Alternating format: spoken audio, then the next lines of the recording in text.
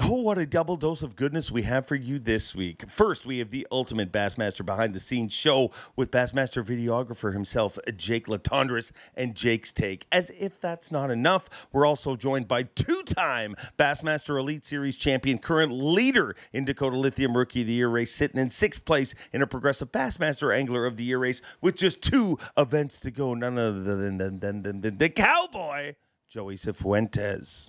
This week on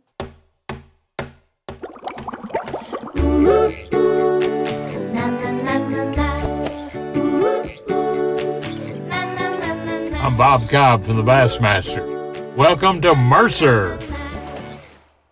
Welcome, one, welcome all, friends, family, freeloaders, fishing freaks. You're all welcome here at the Awkwardly Honest Fishing Podcast that goes by my last name, which is Mercer.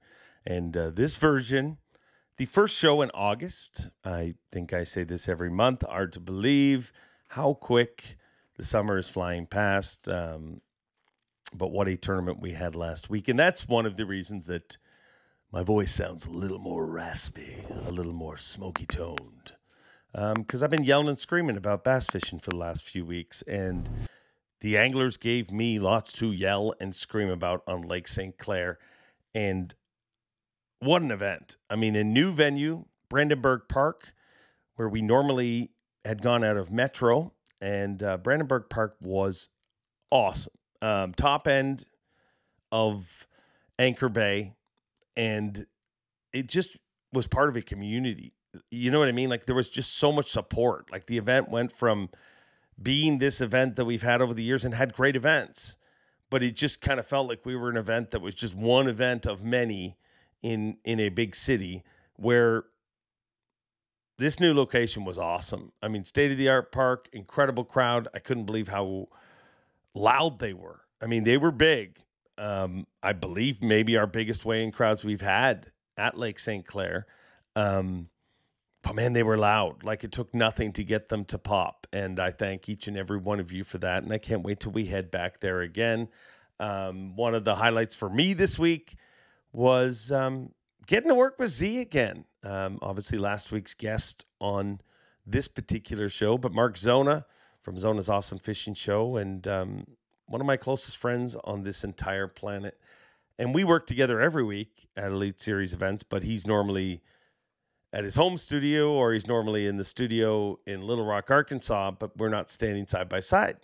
That's how this all started for me is working with Zona and Tommy and all of us being at events. So it was honestly um, not just professionally, like as far as it was fun to work with Z that end, but personally, I thought this week was very therapeutic. I don't know. For me, it was just like, man, this is this is just one of the many things I love about this job. And uh, Zona is incredibly talented when it comes to color commentary. I went on and on about it last week and how I feel about him and Tommy together and how great they are. I just feel like our sport is lucky to have them, and um, lucky to have the dude as a friend. I'm thankful for many things he's done to help me in life, and and one of those is obviously getting me this job at Bass. So, um, or that job at Bass. I guess this job is is at the podcast, which. Which well, really, it's just me, you, and you guys gave me this job. Um, so I thank you for making this job not seem foolish and showing up here each and every week. And I thank Mark Zona for being the person he is. I mean, everybody loved Karen Zona because she showed up and introduced the world to Crumbl cookies, which we had, I had never had, but they're like a $6 cookie and uh, they bought a lot of them. So thank you. Thank you very much. I ate very few of them, but I, well, I ate a couple. Um, but yeah, no, great weekend, great tournament, awesome Champion Joey Cifuentes wins his second Elite Series title in 2023, his rookie season. He is in contention to win Rookie of the Year and Angler of the Year, which is unheard of. Um, I think the last person to ever do it would have been Timmy Horton. That was previous to the Elite Series. So it's never happened in Elite Series competition, but I think Timmy Horton did it in 2000, but I don't believe we actually had an official Rookie of the Year award at that time. But still, an incredible accomplishment and uh, an incredible situation that Joey Cifuentes has put himself in going into uh, Just two events left to finish off the 2023 Bassmaster Elite Series season. So thank you, Mark Zona, for a great week. Congratulations, Joey Cifuentes. And you guys know what happens after every single Elite Series event. We have my boy Jake Latendresse on here, the tenderness, uh, with Jake's Take, where we break down all the action. He was with um, Chris Zaldain on day one, which will be great stuff. He was with Jason Christie on day two, more great stuff. And then he spent day three and day four with Takumi Ito in Smallmouth Disneyland. Um, so lots of great stuff coming up. First, we're going to talk to Jake, and then we'll bring in Joey Cifuentes. And um, I think it'll be a pretty good podcast. So it's going to be a long one. I mean, they're they're all long, and there's lots to cover here. So break it up into a couple of bits if you need to. But I'm just thankful that you guys come here each and every week. And without further ado, let's get dug. Let's get stuck in to Jake's take with Jake Latendresse. Jake's take is back in your life, and Jake, what a freaking tournament we had this past weekend on Lake St. Clair. Unbelievable. How many 20 pound bags were there? Over 100? Oh, yeah, way over. I think it was like 114 or something like that. Biggest winning weight ever there. Um, on day one, we 90, had 91 pounds. Yeah, 91 and change. I think the record before was 89 and change. Um, the guy really got screwed in that record chase is Seth Feider because he had like 77 after three days. That dude has twice, both of his wins, because I believe Mille Lacs was 75 pounds too. He was twice on pace to break 100 pounds before anybody had ever broken 100 pounds of smallmouth bass. But they were three day derbies. It kind of feels like a Seth Feider thing to do. right. I, but I, go ahead. Incredible. Yeah. Like 33 20 pound bags day one, 48 on day two. Um, day three, we only have 50 anglers. We had 28 20 pound bags that day and i don't even know how many on the final day but it, it, it, was quite a few i didn't i mean that would have been the easiest day to count but if i was better at this job i would have but i mean stupid dude stupid stupid um stupid and in weights. july in late july at that i mean those those fish were skinny you yeah. know what i'm saying yeah had we had that tournament in in may or something it would have been a completely different like crushed 100 pounds what if we have that tournament where we normally have it a month from now? You know what I mean? But just right. one month from now, all those skinny fish get a lot less skinny. But then the question is, does Anchor Bay play the way it has? Because, dude, that that's the other thing. Like that never plays. Like Anchor Bay is, you know what I mean? Yes, Bill Wilder won there last time, and I've seen Chris um, Chris Lane had a you know caught a bunch of big fish there um, one year, not the year he won, the year he won, he won up on Huron. But I mean, Anchor Bay has kind of never been the big player. You know, there's a handful of boats, like so much so that I was talking to a buddy of mine, Minnie, that lives there, and we were laughing after the way, and we're like, Anchor Bay dominated this event in every spot but the win. but I remember like six years ago being there for an event, and Minnie was taking people from Bass Pro Shops, you know, Rick Emmett and stuff like that, fishing during the tournament, and they were like, "Oh, we can't go in tournament." She's like, "We're going to Anchor Bay. Nobody goes there." That's how how you know right, Anchor right. Bay has played up to this point, but it was everything this time. The fish were just bigger there than elsewhere. And and and my question is, why is that? Because there were, I don't know how many boats. I don't know how many boats were at Anchor Bay all four days. Well, we know how many were there on day four, but day one, two, and three, especially one and two, it was insane. It looked like one of those spots where, you know, everyone stops at the local bait shop and says, Hey man, where the walleyes biting. Mm-hmm. And the guy at the bait shop tells everyone to go to Anchor Bay. There's all these boats out there, you know, drifting with leeches catching walleyes. That's what it reminded me of. And the times that we did run to Canada, I ran to Canada with Zaldain. He actually spent quite a bit of time in Canada. I ran to um, Canada with Jason Christie, and I actually ran over there, I think one or two times with Taku on day three, and the fish are just smaller. And so the bait, and and as we all know now, I mean, everybody had crawdad parts, you know, in their live well after each day. It, I mean, is that what their primary forage base is in there, crawdads? I think and excuse my voice, I'm a little raspy from the weekend. Um, I think that, I mean, I know that Lake St. Clair has always been that way. It is 100% all about what they're eating. I mean, and and some of the most fun fish to catch on Lake St. Clair, if you're out for a fun day fishing, are the mayfly sippers. You hear them out there. If you're catching those and somebody else is catching a perch eater, you cannot compete. Like it, it's as much as three quarter a pound per fish that that person will have over you if you're if you're weighing in mayfly fish. Um, and obviously they were eating a lot of crawdads, crayfish, Perch. crawfish, what whatever you call them, because you could see the orange. Actually, if you look at some of the pictures, dude, there was it's like a redfish. They get the iodine in them. So definitely Flamingos was- do the same thing with crustaceans. Yeah. Yeah, yeah, flamingos, of Mhm. course. I bet you had Yeah. a pet flamingo growing up, didn't you? They're actually white birds that turn pink when they eat the the krill and shrimp. Mhm. Yeah, and and they get dyed pink in zoos, I believe. Like they They put do. pink dye It's in a- there. It's horrible. That's a totally different pink. Yeah. um, but yeah, it's always been bait driven, and the bigger bait with the better what they wanted was there. But I do have a weird theory about the whole crawfish thing, and I mean this is unscientific or anything like that. But I think that everybody's like, oh, they're spitting up crawfish. They're spitting up. That's all they were eating. They have a harder time digesting crawfish than anything else. Like you know, you'll hear a lot of guys say, "Well, I just don't see them spitting up gobies in my live well." Well, because that's a much easier thing to to digest. You know, Digest, there's right. parts of the crawfish they can't digest. Those little balls that end up in your live well and stuff like that. So, but long story short, the bigger fish were in Anchor Bay this time around. And after day one, clearly that got out. That's why we had uh 33 20 pound bags on day one. And you think it's going to get a little worse in day two. But we had more on day two, 48 on day two, because uh, more people started fishing there. Maybe, and maybe that was because they stopped there on the way in, you know, after the run back, caught some fish and went out, or who knows why. But there was more people there, and uh, it looked like Anchor Bay was going to dominate the tournament. But in the end, the cowboy rides over to Canada, where most people normally fish in this event, and and gets it done. Um, a wild event, a wild event. Um, but let's start day one. Chris Zaldain.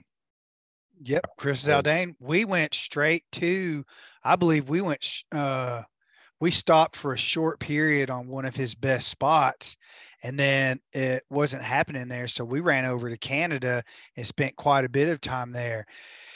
And I always like running with Zaldain. He's got, you know, energy. We have the same kind of energy. I get all, I get jacked up, man. I mean, I know I'm just a camera guy and I'm in the back of the boat. I'm supposed to stay neutral and all that stuff but I feel like I'm in the tournament and whoever, you know, whoever I'm riding with, I mean, I'm for that person because I like to win. I'm a competitive guy myself. So, you know, we were, and I was filming uh, the boat ride out with Zaldain, already knowing that I was going to use Kiss's Detroit Rock City as the soundtrack. Yeah, because and and the boat was bouncing just right to make that uh, video cool. But anyway, I always I always love going out with Zaldain. Um, I think uh, you know I've I've been in his boat, uh, especially since the flip and when he first started. I met him up up on the Upper Mississippi, that tournament that Ish Monroe won. And ever since then, Chris and I have always gotten along. So he's always, you know, he's very knowledgeable about what he's doing. He's very interpretive when he's on live uh, and and talking about what he's doing. And um, but I don't think he was doing anything different than anyone else. He just wasn't on the same fish that the other people were. And I think he stayed away from Anchor Bay because he's one of those guys that likes to get out and do his own thing. Yeah, yeah. so how did they go? Um, I think he weighed, he came back and weighed, I think it was 18 pounds. And he was kind of like, well, that wasn't that, you know, he salvaged it there in the end. He caught some bigger fish and upgraded towards the end of the day when that afternoon bite started. And then, you know, we rolled in. I'm thinking, "Hey, that's not too bad. He's got like 18 pounds. I'm looking at BassTrakk and, you know, all the sandbags, uh, sandbagging that goes on there.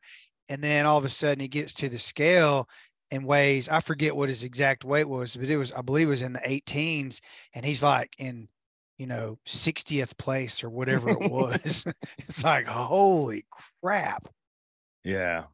that was, it was, crazy. ridiculous, dude. Like, I'll be honest, there's a lot of smallmouth tournament. I love my job. I don't ever want another. I mean, I, I am very happy in my job, but there, when we go to places like that, that you have a lot of history on, you're like, man, I, I if I could throw my hat in one, I'd like to fish this one. I swear to you, all that kept going through my mind on day one is like, yeah, no, I just I don't ever want to fish against these guys. I don't. I don't ever because it was stupid. Like Bill Lowen had 22 pounds and change, and he wasn't in the top 10. It was right. It was ridiculous. And the crazy thing is going into that event, dude. The locals and people were like, it might be a little tougher. I mean, they're a little off. You know, it's a time of year and stuff like that. But clearly, they were not. Um, they caught him, dude. I mean, they caught him good. yeah. And, and, you know, one of the things about uh, forward facing sonar that I learned in this event is how different it is when they're finding fish in the sand and how different it is when they're finding fish in the grass. And one of the things that I've learned is how they tend to pull those fish out of the grass with baits, but like you know, I don't, we can get to Jason Christie in a minute, but you know, he was throwing a huge three quarter ounce tube jig oh, and he was yeah. ripping, he was ripping that thing over the top of the grass and those fish were coming up out of the grass, but he couldn't see the fish because they're buried in the grass and then they're coming back up after it. So then he would raise the fish and then he would, he would reel it in and, and cast back over them and just crank like run it like a crankbait over the top of those fish and boom, he was catching them. It was pretty cool. I learned a I learned a ton about forward facing sonar um, in this event more so than what I think we've learned over the past you know whatever two years that it's really uh, uh, become part of the game and this was one of those deals where there's no structure there's no rocks there's it's just sand and grass and and it's it was a different ball game because of that i felt like I think what you just hit on was was one of the sneaky players in this event. There was doesn't matter the depth depth of water you're fishing. I mean, St. Clair's a generally a shallow lake. I mean, its average depth is 11 feet. I think its deepest point is like 27 feet. Mm-hmm. But this much under the water from the surface played a big player for some key bites in this tournament. You know, and we and there was a bunch of anglers, whether they were on camera or not, that, that I saw moments that that which that explains St. Clair. I mean, they, are the most inquisitive. I mean, they follow. If your boat passes you on St. Clair, you always cast at it. You know what I mean? Because those fish, they chase. And um, what Christie Christie's done so well on a tube there, snapping a tube over the years. I mean, which is one of the most puzzling things in the Elite Series right now. Me and Zona were blown away by it, but he's like, he told me a story about Takumi Ito, who we're going to talk about a bunch here in a little bit and he said Takumi stayed at his house last year for a few days. Um, number one, a ferocious appetite, would eat steak and always demand desserts. Um, Zona, I mean, Zona can eat a half a cat. Like, he, I mean, that man ingests a lot of hardly cooked protein. Beef. Yeah. Um, and uh, he was impressed with how much Takumi could eat. But here's one of the things that blew me away. Zona, just like me, has an incredible, like, I mean, I don't know how many Plano boxes I got full of tubes? A dozen, probably. Um, from over the years, small ones, bigger ones, different. Zona's the same. I mean, Zona ha- maybe more, and Zona has tons of different tube heads and stuff like that. Takumi, when he was at his house, went walked up. He said, "Why?" And Zona's like, "You don't throw a tube." No. And Zona's like, "Would well, you want some?" He's like, "No, too big. I, you know, I don't want." He doesn't throw a tube. And then we got on this topic. It's amazing. More bass have been caught in a tube jig than any other bait in Lake St. Clair, but it is amazing the amount of Elite Series pros. And I maybe it's a generational thing. You know, there's been a lot of hype around a lot of things, and a tube's kind of not got as much hype over the last number of years. But how often do you see a tube playing throughout the year? Dude, never. I mean, when Weird. Jason Christie, I knew I knew he had his history there with tube jigs, uh, and the success he's had. But really, you know, the tube that he was throwing with a three quarter ounce ball headed jig on it looks ridiculous, really. I mean, after all these years of seeing these new baits and the new molds come out with all kinds of different plastic options that you have to mimic you know the natural forage base in the lake why does a tube jig do so well and I, I, I don't know. I mean, it's it, it, looked ridiculous, really, but he was he did it, and he he did really well, and he could have had he been you know shifted a little bit had there not been as many boats and he could have gone where he wanted to when he wanted to at certain times of the day making different decisions jason christie could have been in the top 10 easily and because he was catching them and you know that afternoon bite on day two i think he had like probably 16 and a half pounds or something like that with an hour to go and he goes to his last spot closer to the ramp and uh, you know there's hardly anyone out there because it's sort of getting late in the day and everyone shifted uh, uh, to a, a different spot at anchor bay and he's throwing that tube jig and he's ripping it across that grass and he upgrades three fish in the last hour and ends up weighing 19.9 on day two which gets him you know moves him up the boards and puts him in position to actually make a run at a top 10 on day three. It, it, was pretty cool to watch. He, I, I, man, he's a lot of times he's quiet. He's the intimidator. He's Jason Christie. He's a very serious angler. You know, when you're in the boat with him, and even with my history with him, I love the guy to death. I'm pretty quiet in the boat with him because he's so mentally focused and he doesn't like distractions. He doesn't like, you know, hearing. I, am scared to eat crackers around him when he's fishing because I'm scared that the, the noise of eating crackers is going to distract him. But he is so interesting to be in the boat with because when things are going wrong, he figures it out. He's a very, very, very good fisherman, as we all know. An incredible angler, and and he had a good finish. I mean, needs to have a few good finishes tail end of the season. I mean, it was weird too. I said it on live, and it wasn't a slight on Christie, but I said there's a little part of me that it's nice to see Christie stressed because outside, literally outside of the stress of I need to win a Bassmaster Classic, which he exercised two years ago. When's the last time you saw Jason Christie in that situation? You know what I mean? Like the Bassmaster Classic is coming to his home state, and there's three he events to, to, go, and he's outside of the cut. Um, I believe he's inside the cut now with this finish. I haven't he actually is, checked, yeah. but if he isn't, he so he is. Do you know what place yeah. he's in? I, I, don't, but I was check on day I, on day three. I was checking uh, the leaderboard and I was looking at the AOY standings, and he's well inside the cut now. I'm pretty sure you you'd have to verify that, but I when I saw it, I was like, oh yeah, okay. He just needs to have two more good events, pretty good events, make the cut uh, two more times um, up in uh, Champlain and St. Lawrence, and he's in for sure. Currently in 37th place right now. There you go. Um, so yeah, inside the cut, pretty comfortable, but yeah, things can I mean, go well with two events left, things are going to go well for some people and things are going to go really bad for some people. Well, and in the north, and we saw it this time, things can go, you can catch them and not catch them. I mean, Zaldain, prime example, what you talked about. I mean, Zaldain's incredible, an incredible, incredible smallmouth fisherman, especially. Um, has a great track record there. And I would have been just like him, idling in on that day, thinking I have 18. Okay, well, I'm not winning this tournament but I'm going to be in the cut and I'm going to have a shot to charge up a little bit. But to that can happen on Champlain and that can also happen on Thousand Islands where we're going for the last event. Like that's what's scary about the North. Like it, it feels like everyone catches them and everybody, it's like social media versus real life. In social media, like if you post a picture of you holding the fish that Zaldain caught on day one, I mean, you look like a champ on social media. But right. when you go to weigh in, it's kind of like real life where you're like, ah, oops. Right. So, um, but I, I hope Christie gets um, keeps catching him. I would imagine he does. I mean, Champlain sets up for him in multiple ways. Multiple ways, yeah.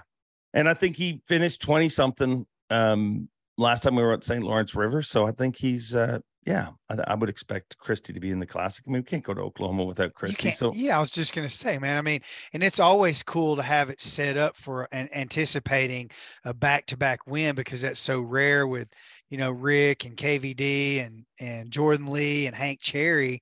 That's such a small group of you know elite anglers that have done that, and having Jason at Grand Lake um, for the for the uh, Bassmaster Classic I mean, it would be a travesty not to have him there. We got to, we got to have that. What does that have to do with a back-to-back win? Oh, I'm just confused. You, you oh, forgetting? Duh. You forgetting so Jeff sorry. Gustafson?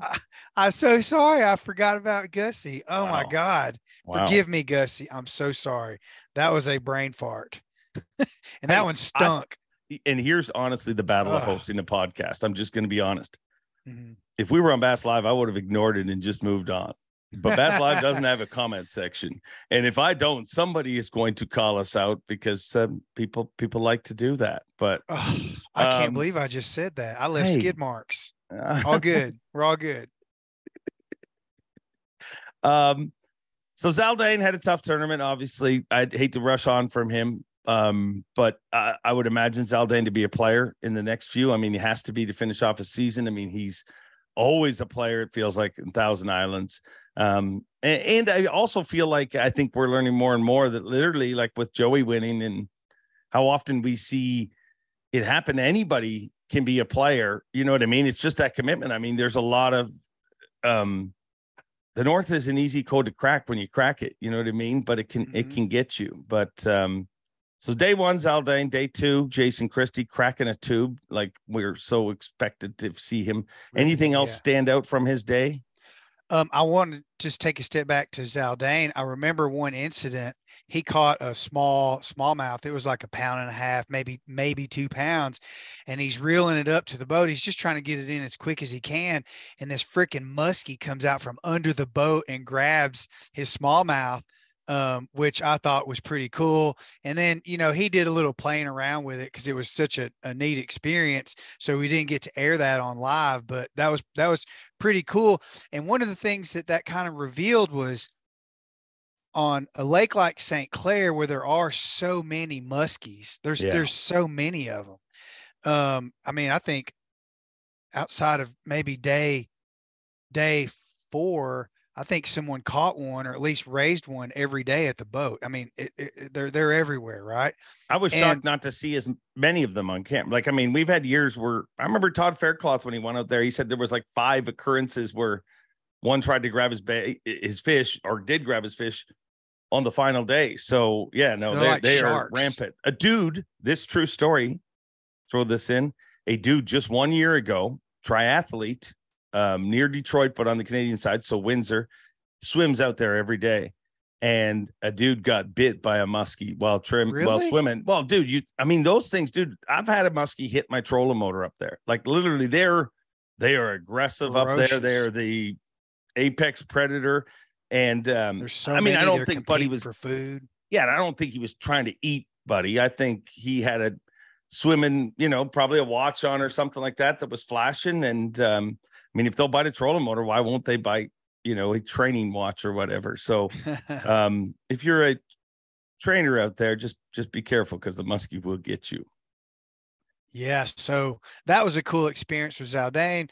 Um, I don't recall, I don't recall anything else really that stood out with Jason other than we ran to Canada once. He caught two little ones and was like, "We're we're out of here." Like we ran all the way up there, and then he caught two fish that just didn't have the meat on them that the the ones at Anchor Bay did. So we literally packed up and turned around and ran all the way back. And that's when he showed up with about an hour and a half to go and he was searching, searching, searching. And then finally he got back to a spot he really wanted to be on and upgraded those three fish in the last hour, which I thought was pretty impressive. You know, I've never asked you, but just Zaldain and Christie, I'm thinking while you're answering that, you know, like those are two guys you have great relationships with. You've, you know, you've covered them multiple times, knowing them for years. What what is when you first get in the boat? What is the conversation like? Is it like here we go again, or you know how how does it all go down? I think it's more let's go, you know, like we've been we've done this before and we know what the experience before and during takeoff is going to be like and I'm I'm always amped like I'm always fist bumping and I'm like come on let's go man let's go you know and I'm I'm I'm just jacked up so I I feel like perhaps that energy transcends into them and their energy transcends back to me um, but then once the trolling motor goes down I'm pretty quiet on the back of the boat and I just let them do their thing and see how the day's going to unfold. And then, you know, my my energy sort of uh really follows what happens during the day because when they're not doing well, they like to be quiet. Are you happy to get away from? Well, maybe it might happen to Champlain, but flipping season and uh, just having lighter baits flying at you in the back deck? Did you get hit by? I mean, a three quarter ounce tube wouldn't be fun either. I imagine. No, no, no wounds this week. No, no wounds. I got hit with a rod a couple times because you know, landing. The difference between landing a largemouth and a smallmouth is two totally different games, right? Without a net, and they're constantly lipping or boat flipping largemouth into the boat, but with these small hooks and the soft, you know, tissue in their mouth and the small mouth on these on these uh, smallmouth, they have to they have to uh, bread loaf them to get them back in the boat. Yeah. They don't they don't flip them. I mean, there's just too much too much to to lose there. And so that's always a struggle and I'm tr- still after so many years trying to figure out well what camera angle a can I get to that's going to differentiate, you know, how this land this landing uh, approach looks like but if I get too close, their rods are always flying because they're, you know, they're holding it like this and they're reaching down trying to get the fish um, and and cut by the belly. And so I, it, there's a fine line there. One time, Taku's line got hung around the microphone on on my camera and he literally just I, every, every time i tell all my anglers on smallmouth i'm right behind you so they know where i am. And when the line got caught he just literally reached back there unhooked it and landed the fish. So that's my nervousness about being a camera guy on these smallmouth lakes is god i hope you know i don't i don't cause them to lose you know a five or six pounder or something like that or even even a even a you know a, a, one of their five keepers. I, I just don't want to be a part of that because that's not my job. My job is to capture it and to tell the story with my camera, and I don't want to be that. I don't want to feel. I, I just don't want to feel that. You know. No, no, that'd be that'd be an uncomfortable moment. Have you? Has anybody ever like broken off a fish because of your camera? I mean, it it happens. You know what I mean? Like you're it, it's but I got you imagine how like uncomfortable the next like say it happens hour one. So I'm out here for seven hours with this dude and and I gotta live with this. I gotta be with this person. yeah, I'm I'm not I'm not going there. oh, people are gonna want you to just because you said you're not going there. I but I won't push you. Um, because one of the most fun person people that persons people to cover has to be Takumi Ito. And um, you were with him the final two days of the event, and some incredible moments happened, as always do. I mean, that dude, if he's on camera, win, lose, or draw, you're going to leave the tournament with him being part of the highlight. And I don't mean you as in you, I mean all of us uh, just watching it. So I can only imagine what it's like to actually be on the boat and experience it front row. I don't know how many times I've said this in messages and, and responses, comments, and posts about Taku this uh, past weekend, but I'll say it again on on this show. It's like being in the boat with one of my kids. I mean, it's like he's just so much fun. You can't help but love the guy because he's so positive. He's always he's very focused. He uses all these crazy baits you know, and he hides he hides his baits really well. If you'll notice, he I'm gonna does. I hope he doesn't get mad at me for saying this, but when he lands his fish, he makes sure that his back is to me. And when he pulls his fish in, he keeps it in front of him. He unhooks his fish, makes sure his bait is hidden, throws the hook back in the water, then turns around and goes, Ha! Five pounder giant. so, and and you know, rightfully so, most of his baits that he fishes with, particularly when he's on camera, are prototypes and he doesn't want to reveal what he's showing. And the Japanese guys are so secretive anyway. And that's part, I think that's part of their whole honor system and, and their culture is to once you're sworn to secrecy, you're sworn to secrecy. Plus, he doesn't want other people to know what he's using because he's being successful, right? Yeah. Are you going to tell us what he's using or no? No. I'm half Japanese, and I have. You weren't sworn to secrecy, though. I was. He he. Every every time I get in Taku's boat, I'm sworn to secrecy because he always says, "No zoom in on bait." Okay. I go, "Okay, okay, no problem, Taku. We're good."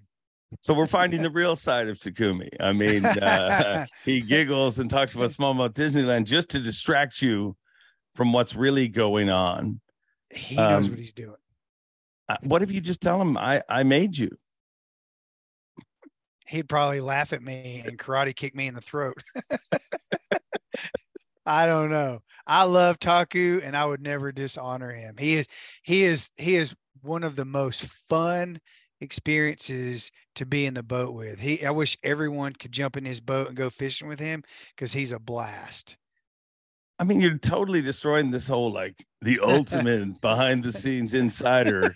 He'll tell you most of the truth unless Takumi Ito makes him not Hey. tell you. He uses, let me say this, he uses baits unlike anything else that's out. Maybe Fujita is using something No- similar. none of this is helping people want to hear about it less. Let me finish. Let me Okay, finish. sorry, sorry. and his baits are always they always have dangly things on them they're as small as your thumbnail and he catches big fish on little bitty tiny baits. And that may be why he said that that tube jig to zona the tube jig is too big. He is he is a master at small baits. And I'll, I'll say this it was a i don't even know what it was. It was a tiny little creature on a hook and it's it's a it's a standard drop shot setup. He does use he puts his hook really close to the bottom on his drop shots. He has a really small leader or ti- the way he rigs his his uh, baits. They're they're basically right at the weight. Um, and I don't know if that's just because you know he wants the fish to stay on the bottom or he's trying to prevent the fish from because I, well, I did see several fish, particularly, and you know now with front facing sonar with Zaldain and Jason Christie, and not one time with Taku where the the fish came up and and and bit the weight and actually took the weight off the line with those drop shots. So I, I'm not sure why he ties it so close to the weight, but that's one of his uh, very traditional styles that he uses at least every time I've been in his boat. All right. So what stood out to you that you're willing to tell us? Nothing. No, that's it. Thanks for tuning in, ladies and gentlemen. See y'all later. Have a good have a good life. I'm out. I think I think um Taku is so zoned in to smallmouth and he knows he actually knows where to go find them in the grass. I don't think he caught any of his fish in the sand. Every one of them were in the grass. And maybe that's why he uses those baits close to the weight because he's keeping his bait in the grass. And all those Japanese guys, you know, I'm convinced that the most important thing that they do is they wiggle their jiggle differently than everybody else. They have a very they have a very even when they're reeling it in, they're constantly moving their rod, unlike a lot of people where they're just reeling it in to get it back out there, right? And and and Taku is constantly doing that, and he catches random fish doing that. Other times, I mean, it seemed like it's honestly my days went by so fast with Taku because it seemed like he caught one every cast. You know, whether it was a, a Wow. dink or a big one, it was unbelievable how many fish he caught. Just insane. I mean, it was it was literally the law of averages when he got into smaller fish. You you know what I realized about it was he's not on the right fish and he's getting ready to pack up and move because he just caught four and four casts that were two pounds and he knew at that point the wrong these are the wrong fish and we pack up and move 200 yards and then he would start catching three pounders and he would move somewhere. What makes i mean uh, i don't know enough about uh, smallmouth in depth to understand do they literally just school in age class Dude, I think St. Clair breaks the rules on all of those. You know what I mean? Like I, I- think I the fish move so much; it's all just bait driven. Um, there's some people who believe it's age class. There's a lot of mysteries about smallmouth. I mean, a lot of people were debating this weekend about the color of the smallmouth. But the thing about the smallmouth is, dude, like I don't hold a lot of weight in the color thing. You know what I mean? Where people are like, "Oh, a darker fish means that they're." yeah I, I've heard people say that means that they're a resident fish. I've heard people say that means they just moved up shallow.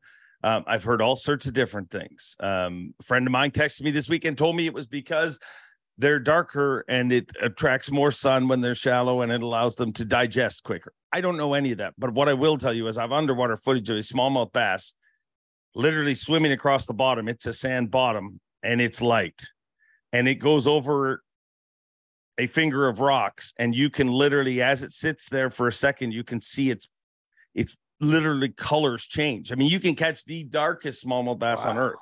Put it in your live well.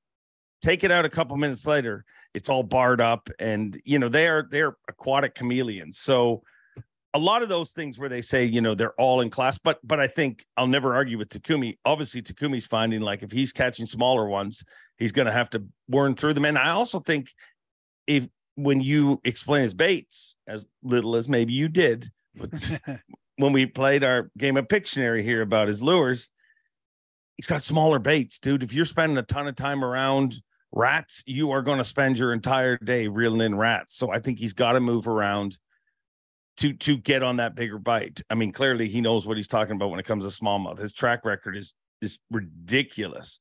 Um, for a guy who had never fished for smallmouth. Like the story of Takumi Ito is mind boggling. Like you look at Kyoya, Kyoya's won a bunch of tournaments in Japan. He's won Angler of the Year four times.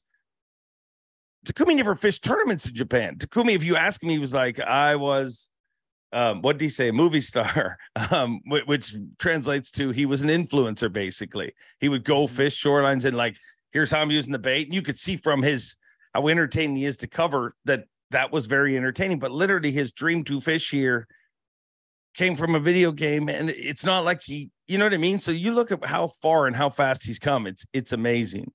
Back to the baits, though. Let me ask you this: Are any of the baits that you saw Takumi Ito throw, are any of them similar to the ones that we've seen from Kyoya? I don't know because I haven't been in Kyoya's boat. You'll not and, answer anything this no, week. No, no, no. Let, me say this. Let me say this. So the very first uh, when when Taku became a, a, household name, we I think you and I know, or a lot of people do. Some people don't. It all started on St. Clair. Yeah, and he's fishing that and, little crab bait, right? Exactly. And so, and his bait this time was very similar to that crab. They're tiny. They look like little rubber things that you put on the end of pencils. You know, little kid toys that you. That's what they look like. And and he's literally there's nothing sophisticated about it. It's a it's a standard drop shot. He's using he changes hooks a lot. He he change he makes sure his hooks are very sharp, and he change. I would say I don't even know how often he changed hooks, but you know, he had he had a whole line of hooks on his on his trash can door right there, but you know, on his step up, he had he probably had 50 little hooks lined up, knowing he was going to go through all those hooks, changing hooks often. So, you know, he likes a sharp hook. And all of his baits. Does he stop to sharpen them ever, or is literally Never. he just if he, he cuts it off, doesn't sharpen, he cuts it off, and reties everything, everything. Wow! Wow! And okay. yeah, and and and he keeps all of his baits in his locker, in his middle locker, and in his skeeter, and they're they're in a Tupperware container. His organizational uh, program or system in his locker with all of his baits are it's all Tupperware. There's no like bait boxes. It's all these plastic tup little Tupperware boxes stacked up in big Tupperware boxes and and he's again you know unless like you don't even see his baits on the floor in the boat but because he's so secretive with them when he takes them off if if there's a blown uh, if there's a leg pulled off or a, a, tentacle pulled off or half the bait's there if it's ripped through the hook or whatever it is he takes that bait and puts it up in front with him so i can't see it he's very secretive with his baits. Every now and then I'll catch one on the floor and I lifted one up. I said, I said, this is pretty cool. And he grabbed it from me and put it over there by his steering wheel.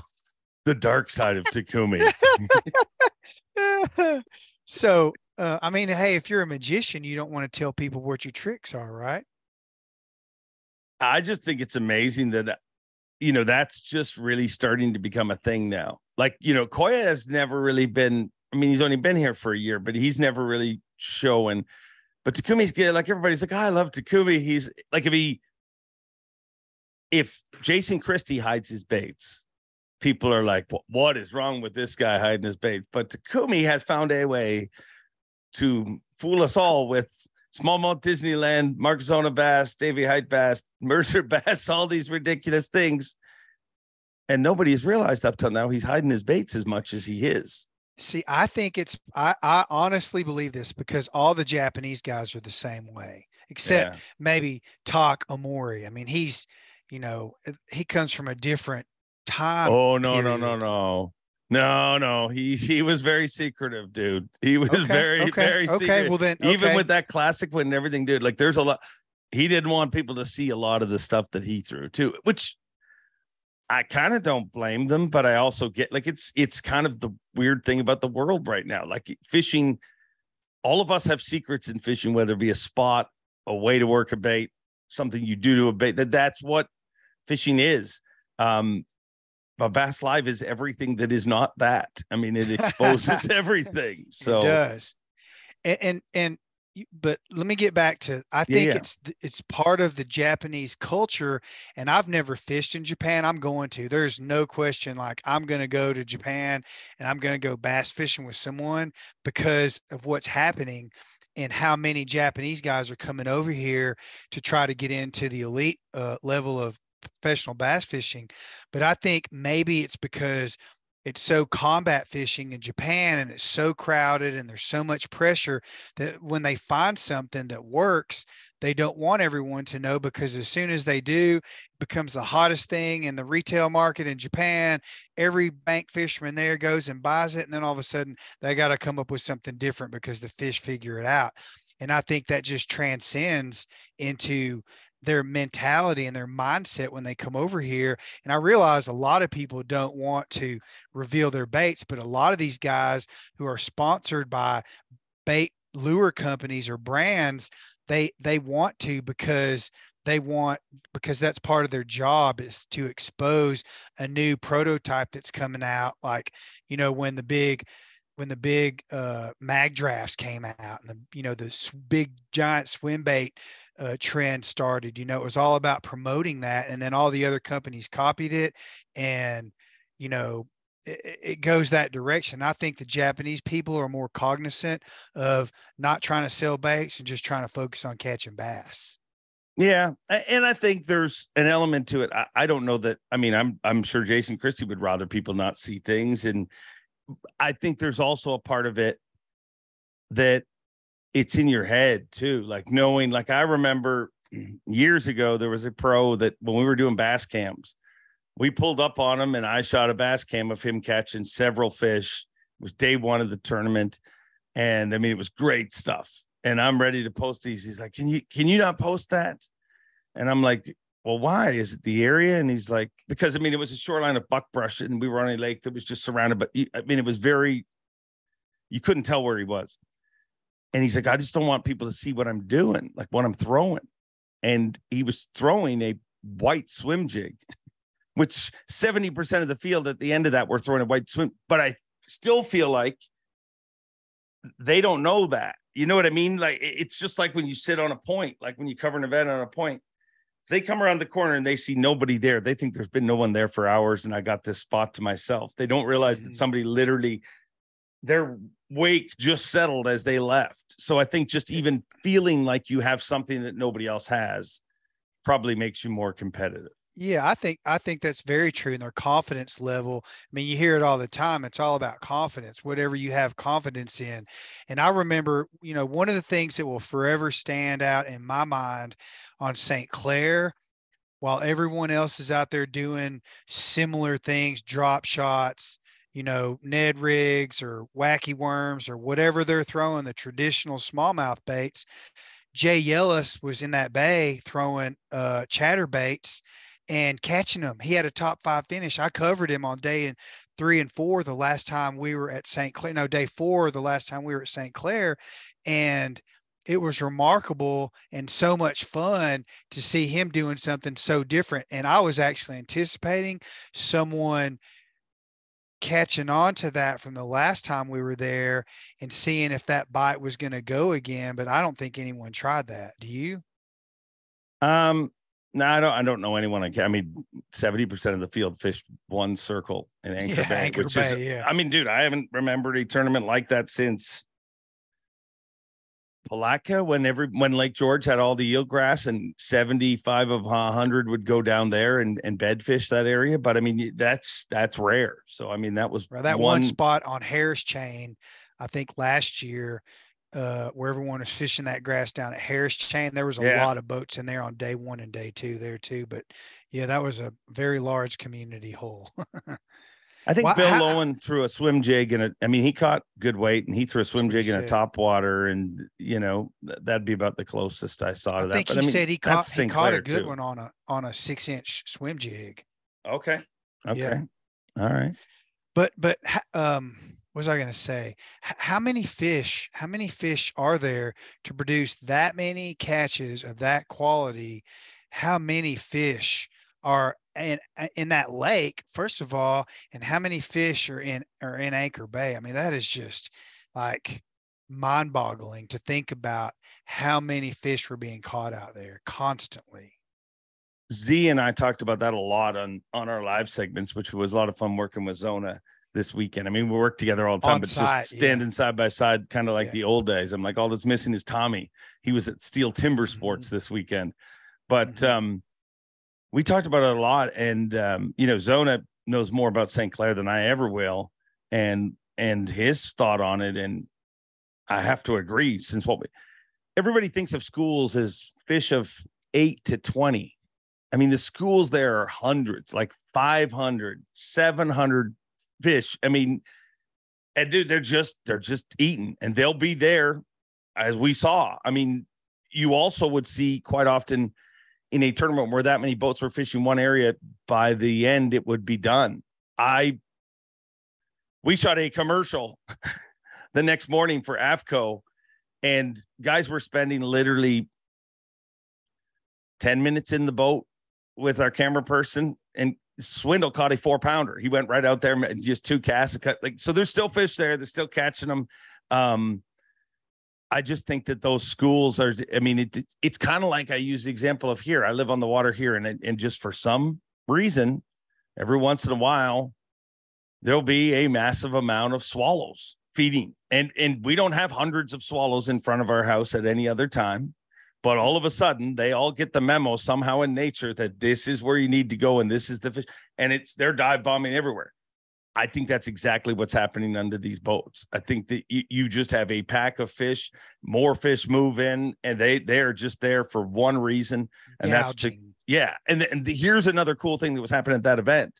Shout out to the Bass Fishing Hall of Fame because what they did is they funded a thing with Bass and the Bass Fishing Hall of Fame with the Michigan DNR. Um, no, DNR's Randy Van Dam store, but the Michigan I'm, I'm sorry, I don't know the Their Department of Natural Resources. Exactly. That is. Yes. Exactly.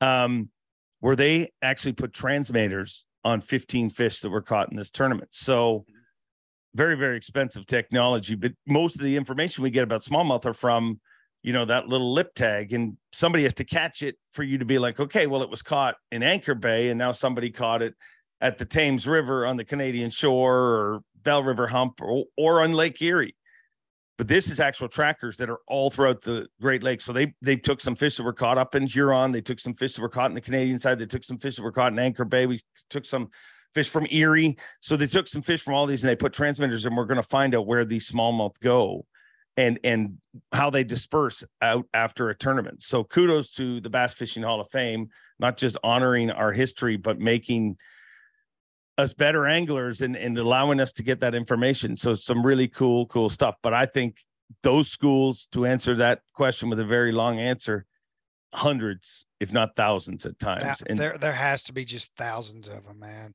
I mean, what what what is going on out there? I mean, there was another 50 boat tournament on top of ours on day three where on Saturday where you know you added another 50 boats from some other tournament local tournament that was going on and and then there's local fishermen there's outfitters out there and and you know large vessels drifting.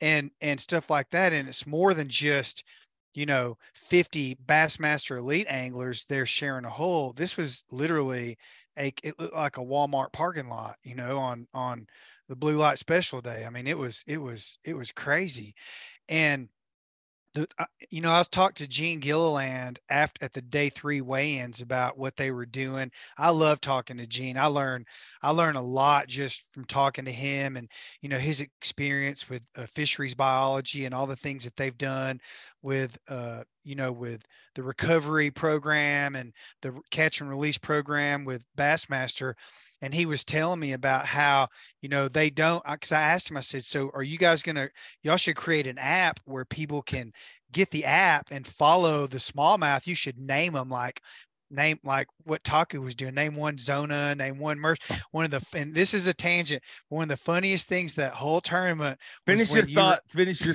finish your thoughts on on okay, gene okay. first. Okay and and and the the, the interesting thing about what uh, Gene was telling me was how they can't they can't track the fish as they're as they're migrating they have poles yeah. or, or record uh, receiving devices underwater so they have to go out and collect the data from those different uh, monitors each time to gain that knowledge which which i thought was interesting and I said, why don't you, know, wh- how can they do that on sharks? And he said, because they put $50,000 transmitters on dorsal fins of great white sharks and giant hammerheads, and they surface, they come to the surface often so they can track them uh, like that. So it's interesting what they were doing, how they were doing it, and all the information and I went to eat dinner with Zona. Me and Wes and Brian Evie, Zona and Karen Zona went to eat dinner uh, one night. I think it was uh, after the first night,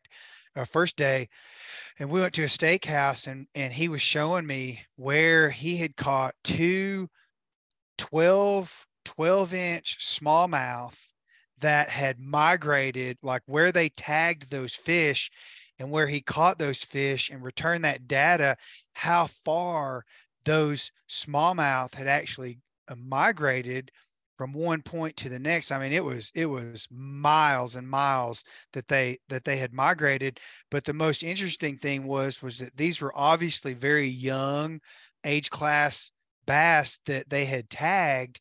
And you know the questions are well you know what what instinctively made them migrate from where they tagged them all the way down to where they were caught like which, which you would never even think a fish a freshwater fish would travel that far much less need to travel that far to take advantage of whatever resources or or whatever goes on biologically in those fish to make that happen. It's phenomenal yeah. And, and, it's gonna what this is so basically what I've been told is so the pinging is whenever they get within two miles of one of these transmitters, which they've got distributed Receiver. all throughout the Great Lakes, they'll know which and people are like, well, what, what how's that gonna help things? Well, I told the story on live, and for those of you didn't hear it, there was a fish that was tagged on Lake Erie. So the Buffalo end of Lake Erie on the Canadian side in a tournament and was released. Just a just a lip tag, you know, tag. no transmitter or anything. A year later, that fish was caught on Lake Ontario in the mouth of the Niagara River. There is two ways basically to do that. Um, you either one go through the Welland Canal, which I believe is 20 to 40 miles long of concrete, like it's literally like a ship highway. Nothing, there's the Panama I mean, Canal. Yeah, but it's not short. It's not natural shorelines. It's like it's like a break wall the whole way up through right. all of this. So fairly unlikely that it went that way. But is it more unlikely that it went over the falls? Because those are the two ways to go. But with this technology, you would know because you would have seen like it was working its way down the Niagara River, or here it is, you know, going through the Welland Canal. So it, it's going to answer a lot of questions. And and I I'm like you. I love all that stuff. That, I mean, I, I do too. I'm a geek when it comes to all that, man. I could just sit there and listen to that, listen to Gene Gilliland all day long, talk about you know the information that that he's learned over the years and then think because things start to make more sense after that or maybe some things make less sense after that i, I don't know yeah i mean uh, you it, the more information you have the more you can figure out so kudos to Bass, Michigan, and of course, the Bass Fishing Hall of Fame, who uh, who took some of their fine funds and put it towards that. So cool stuff that we're learning because of that. Mm-hmm. So let's get back to the funniest thing that I remember about the whole tournament was when Taku, you were interviewing Taku at the dock before day four takeoff. But and before we get into this, tell me what happened on day okay. three. He's called called fish zona bass, right? Because they were big. Oh yeah, yeah, yeah, yeah. So yeah, he called. He was calling. Uh, he land. He was landing one, and he called this is a zona bass because he was talking about how big it was, and because every time he hooks up, the fish is always out in front because he's pitching or casting out in front of the boat. And when he when he hooks up, I'm my first my first question to him is he goes, "Is it a big one?" And he's either he answers, you know, no, no, no, it's small, it's small, or he goes, "Oh yeah, I think so. I think it's giant." And so this time, instead of saying giant so often, he started naming his fish, and he started out with Zona, which I thought was pretty cute. And he was off camera when we moved to the next spot after that started, he looked at me and he said, "Do you think uh, Zona uh, mad?" And I said, "No, dude. Trust me. Zona loves you. Everybody loves you. They're gonna take that exactly what you meant it to be, and it, I think everyone's gonna laugh and think that's funny, including Zona." what was Zona's response on live? I didn't hear it.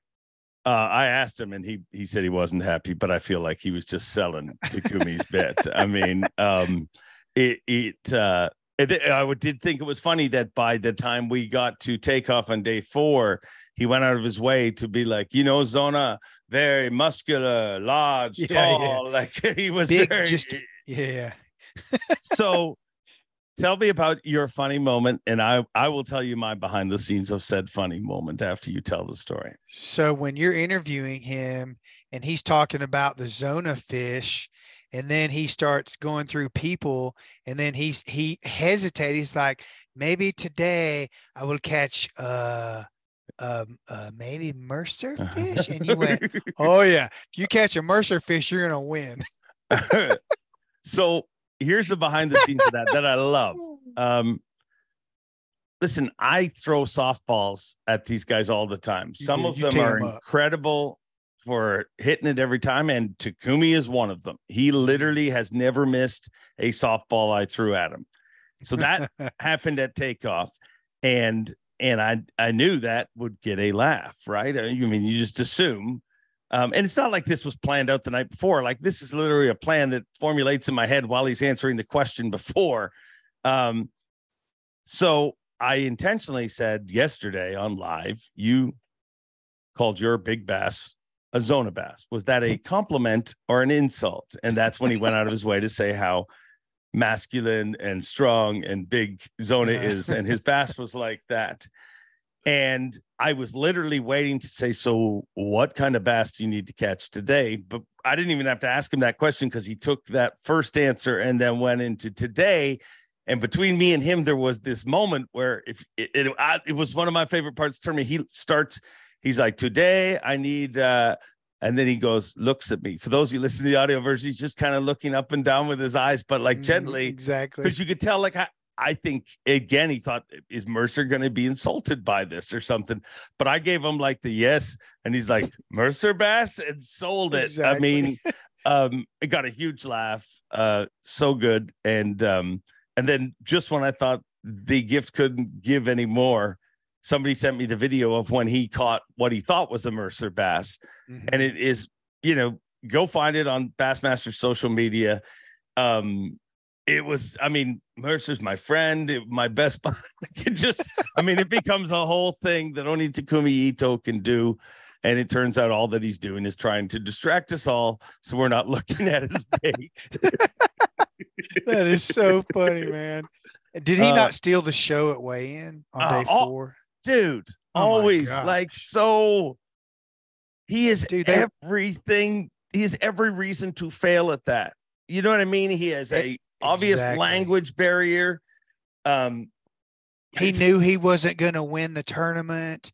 Yeah. Like, uh, like everything was it goes against him and he literally stole the show and he had the crowd in stitches including myself i mean that was freaking that that is entertainment at its best man every time he gets a chance, dude. Every single, and I tell pros this, whether they're rookies or whatever. I'm like, anytime you have a shot, anytime you have a shot on camera, make it memorable. And oh wow, who we got a visitor here? What? Who's this? This is my baby girl, Scarlett. Hey, Can you say Scarlett. hi? Mwah. I love you. Are you okay? Yeah. Is We're almost good? done. We're almost done with the podcast.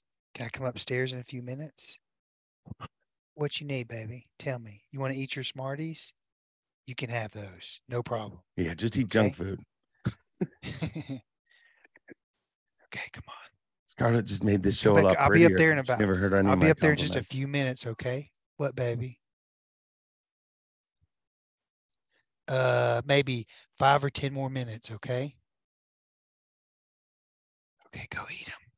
I've never felt more pressure to finish a podcast faster in my Okay, life. we got five minutes, bro. just in case you're ever wondering if this is real, Okay. this podcast, we just proved it by It's visitor. very real.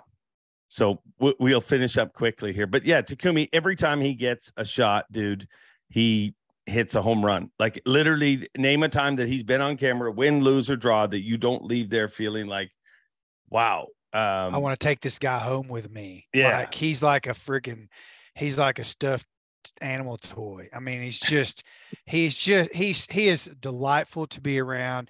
He's like that in real life. You know, he's, he and I have had lots of different, I've, we've talked on the phone privately before between tournaments just to catch up and say hi. He is always like that. And he's so polite and he's so, he's so, um, he's so honorable and he's so funny. He cut. I, I I don't think there's any way that he re- rehearses this stuff. This stuff is totally spontaneous and serendipitous, and he just freaking nails it because that's his personality and character. Yeah, yeah, he definitely nails it. Um, a great angler, a great tournament, and Joey Cifuentes, what a great season, rookie season, two wins. He's leading rookie of the year, Dakota Lithium rookie of the year, and in contention to win the Progressive Bassmaster Angler of the Year title. Not a bad year for the Cowboy. What what a run he's having. I mean, and I have not been in his in Joey's boat, so I don't know him very well. In fact, I really don't even know him. I did congratulate him um, after his win, and you know we exchanged handshakes. And I would love to get to know him better because he's obviously very good at what he does. you want, um, do you want to sit up here with me? Come on, Come here. she's welcome. Come here. This this this just you Give just her be part of the show. yeah. Can, can you say hi? Wait, can you say hi?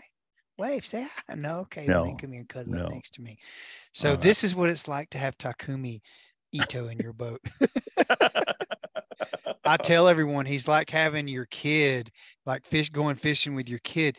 And I think the most important thing about Taku and what he does is that he's having so much fun out there because this is a dream come true for him and he doesn't want this to ever go away. I truly believe that. Yeah. It- does he keep that level of excitement up all day? The same thing we see on camera. Like that's him always, right? when he hey when he when he pulls up to a spot and he uh he turns his engine off he every single time he goes okay let's go let's go let's go like that's this is before he goes up and drops his trolling motor he's got that energy and i you know i've been with him before when he wasn't doing so well and he does get down on himself at times you know and and but you know somehow he just brings himself back up and we knew that he was going to be in tension when we got to the smallmouth swing that he was going to be in, in contention and we knew he did well on st clair the last time he was here and he basically did the same thing and and had a very very good tournament. He could have easily he was one bite what he he he what was the difference between him and and Joey. I know Luke was in the middle there. You know, we haven't Yeah, I mean, talked was- about Luke Palmer yet, dude. Yeah. I mean, another shot at the title, you know, and so weird, dude. How is it so weird that when you win one, like it happened to Bill Lowen too? Like Luke Palmer was the most, one of the most consistent pros we had on tour. Hundred percent. Just couldn't, just never got over that hump for a win. Well, he wins one. And since then, he's been kind of, you know, had his roughest patch. Well, another shot at them this week. And uh, Luke Palmer is an incredible angler and just Stud. and uh, when I kept bringing up how Gussie told him how to tie braid and fluoro together just a few years ago, that wasn't a slight. That was my amazement to be like, dude, you got to, you're leading this event. You got a deck full of spinning rods. What an incredible climb that guy continues to have. And he's going to be part of the sport for a long, long time. I mean, he's a he's a giant largemouth power fisherman Yeah. to a T, and he adjusts and dang near wins St. Clair on spinning rods and tiny baits. It's wild. He, he's wild. an me and I went to dinner uh, after the after day three. I went to dinner with Lee Livesey and that crew, um, Logan and Caleb and Jesse and Drew Benton and Drew Cook were both there too. We all sat and had some beers and ate ate protein. And Lee and I were talking about, you know, how impressive Luke Palmer is and always has been. And without having talked about him this entire, basically this whole podcast until now, kudos to Luke Palmer for doing what he did. And I mean, actually going into day four, I was kind of thinking, man, I, I could easily see Luke Palmer winning this tournament. Well, he almost did. He almost did. Um, but clearly it was meant to be for the cowboy. I mean, he had a fish jump in the boat. Um, just some That was awesome that was stuff. cool. We- I had a story that you really wanted me to tell on this podcast, but there is no way in hell I can tell it while your daughter is sitting on your lap. So it'll have to wait for another week um, or another time. well, she but- can't hear. I've got the headset. Well, I know, but just the the optics of it, I can't Okay, tell it with her little okay. eyes just looking up at me. It just it won't work good. So I want to show you something before you leave because this is Okay. something I am incredibly proud of. I just got it home. I've had said thing for a year, but when I got it, I was flying and it and I couldn't bring it with me. So uh, the VanDams were both there, and they took this for me home, and and we said, hey, next time we're together, or you know, we'll see you, and I'll, I'll get it from you at an event that I'm driving from. Sherry VanDam's amazing. Just to let you know, in case you're wondering, like the woman is amazing because to me, I would have never thought about this, but I'm driving to the event at St. Clair, and she's like, "Oh, some of our friends, family from DNR are going to be at the weigh-in. Why don't I send this with you, them, so you can get it and you can drive it home because it doesn't fit in mm-hmm. overhead. But this is one of the coolest things ever, dude. And I'm just going to open it now for the first time on the podcast. But if you're reading that, you're reading it right. That is one of Ray Scott's hats, and um, something I am incredibly proud to own. I should remember that I Wow. close to the uh, microphone because um, this is an audio podcast as well. But one of the man's hats right there, and uh, That's I'm the gonna find a real spot to hang it back here and always have it. But uh, a Wow. treasured, treasured thing. The chicken Way that go, egg. Sherry. Ray Scott. Well, she didn't give it to me. She just sent it to me. Okay. Oh, oh, okay, I Let's be got you, got you, got you. Okay, got you, got you, got you. No, thank you, Sherry. You are awesome. Do, do you remember to send it?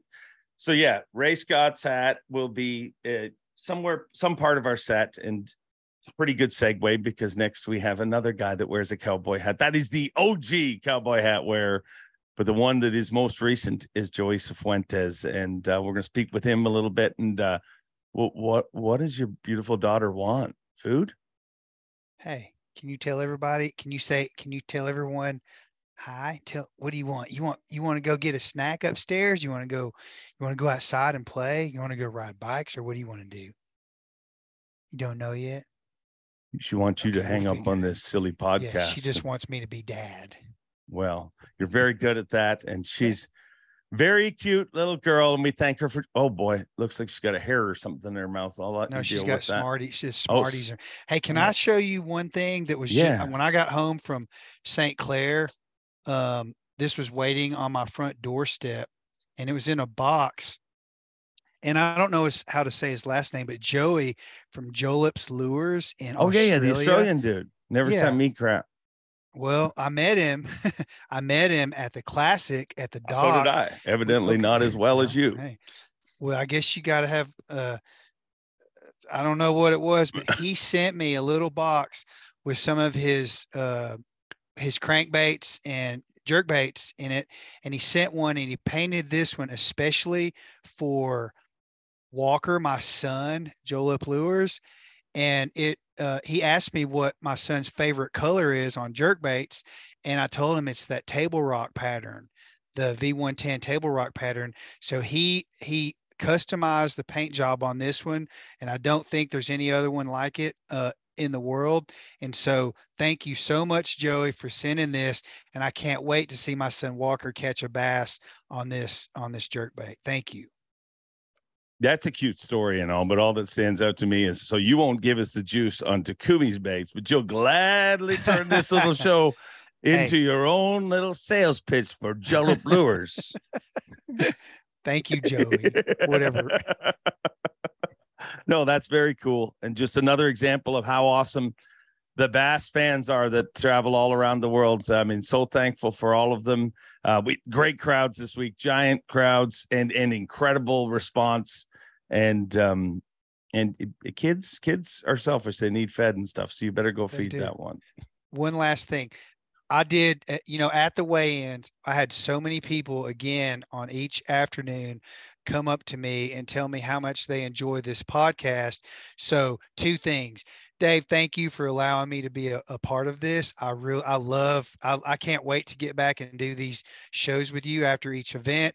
And thank you to all the viewers and fans out there that recognize, you know, what we do and, and, and what Dave does. And I know you're, you know, I don't know how many followers you have now, what, two or 3 million at this point, but it's still growing. And thank you guys for, for watching this show. It's pretty cool it's very very cool. It's uh it's a gift for us and i love uh i, I love what this show's giving back because dude i just love having these conversations you know what i mean? I love kind of reliving the event. There's times where i'll leave and it's so much comes at you so quick. You're just you you don't remember it all but i i, I think it's a lot of fun doing these. So thank you for being the jake that is jake's take. And um next up can we can we get her to introduce the cowboy Joey Cifuentes? Do hey, you think she? You, but she's got to yell it. I mean, we got to hear I got, it. I want you to yell really loud. Four boxes of Smarties. Uh, Offer four boxes of Smarties for we'll it. Give you four. We'll give you four rolls of Smarties if you say, and now, let's take it over to Joey Cifuentes. Can you say that? Come on, let's say let's say go Cowboy. Say go Cowboy. What? Come on. Can you say I'll give you another roll of Smarties? Say go Cowboy. Say go cowboy. Say it. Not, no, say go cowboy. Not even she'll cheer for the Cowboys. Okay. All right. That's as much as we're gonna get. Say we bye. try. Bye bye. Can you can you wave bye? Say bye, Dave. She's playing Thanks, hard to Dave. talk. Thank you. And next up, the Cowboy Joey Cifuentes two time Bassmaster Elite Series champion, Joey Cifuentes. How good does that sound, dude? Sounds really good, Dave. Um, you know, I, I I've been telling folks that I really thought my my first one would be a smallmouth tournament, and I got that largemouth. Now I got the smallmouth. It's it's unbelievable, man. What was what was your goal? Like, be honest. I mean, join the Elite Series. I mean, you had to set a, a this is what would make me happy. Obviously, I would assume you've overachieved, you know, of the initial goal because you drive yourself insane if your goal was like, I want to win two in my rookie season. But what was your original goal going into this, your first Elite Series season? Um, realistically, my my goal was to to make the classic. That was it. I just wanted to I wanted to be competitive with all these guys. Um, and and make the Bassmaster Classic. I've I've been to a few of those and worked them, and it's the greatest tournament there is in the world. And I just I wanted to be successful and make that thing. Like that's that's what I wanted to do. So clearly things things are going a little better or a little ahead of a schedule. Yeah, yeah, definitely a little ahead of schedule. Um, you know, I, I did I felt like I was getting close in my career where I was going to get a win. So I did have that as one of my goals. Um, uh, so, but yeah, no, it's way ahead now when you get to. So, pretty cool. Your family unfortunately wasn't able to be at this one. They were at the last yeah. one. What what was the homecoming like? Like that moment, jingling the keys and walking in the door. Yeah, it was uh it was awesome, man. Um my daughter's just running up to me and and giving me a hug and uh all my family being there and, and cheering for me. I mean, it was, uh, it's special. That's what it's all about. You know, I, I do this for, you know, for my family. I mean, I, I do it to provide for my family. It's my job. So, um, to, to be successful and, and to go get, get it done and, and bring home that money, it's, it's, it's awesome. It was incredible to watch, but I would say it was a, it was a special St. Clair tournament in the way that not just the weights and all the 20 pound bags, but dude, I would have lost my house if somebody beforehand said that there will be two boats that run to Erie on day one. There will be 70 boats at some point during this tournament fishing Anchor Bay and very few anglers fish. Like, I mean, how did you avoid that temptation? You know, do, so many anglers were fishing Anchor Bay, and you were one of the few guys who literally said, I'm going to go off out by myself in an area that isn't often by yourself. Um, and and obviously it was the right call, but how did you avoid the temptation to go where so many were going? Um, so it was really hard because after after the first two days of the turn or practice, um, I didn't really find what I wanted to find in Canada uh, on the Canadian side on St. Clair, and that's where I was. My goal was to fish like 100. percent So I was looking after day two of practice, I was telling Larry, uh, my travel partner, I was like, man, I don't, I don't really know what I'm going to do. Should I, we started talking about Erie. I was very curious about Huron. Like, if can you catch some fish down on the southern end of that? I fished in the the the river that flows into the St. Clair, the St. Clair River. Um, but I just I said, you know what? I'm gonna I'm gonna stick hard in Canada over there. I'm gonna keep looking and hopefully I find something. If not, I did find some of those same fish that the guys did in Anchor Bay. But I, am and and luckily that you know the last half of the day of practice um, on de- on the third day of practice, I found I found some fish there. So I was just like I'm all in on that. How good was what you found on on that last day? Um, you know, the quality was good, but the the numbers of fish was not. It, it, yeah. it it, it, I really didn't know if it was going to be a winning thing. I, I, thought that, but but the quality of fish was. I went through there. I caught two four pounders and I jumped off of five in a really small little area, and that was it. I never fished it anymore. I didn't look expand on it at all. Um, so I, I just didn't know, Dave. But it was the best I had found outside of Anchor Bay, somewhere that I knew was going to be safe from the boat traffic on the weekends, and and I thought it was going to be a quality spot. So clearly, your toughest day in the tournament had to be, you know, physically had to be that day three. You know, that rough day that yeah. that everybody talked about how rough it was, but it was rougher where you were than maybe where anybody was. Did you ever think of abandoning that plan at that point? Um, it, it it was a really it was really a struggle like first thing in the morning. And and not exactly first when I got there but maybe like an hour into it the wind started really blowing.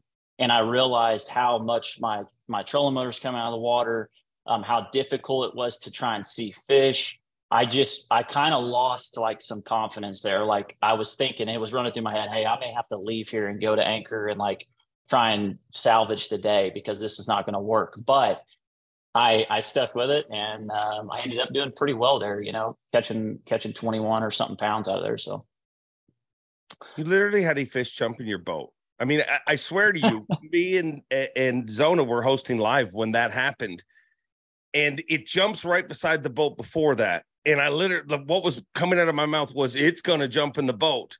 And a second later, when it jumped in the boat, I regretted not saying what I was about to say because I would have looked like I knew what I was talking about. But dude, you literally had fish. I mean, what goes?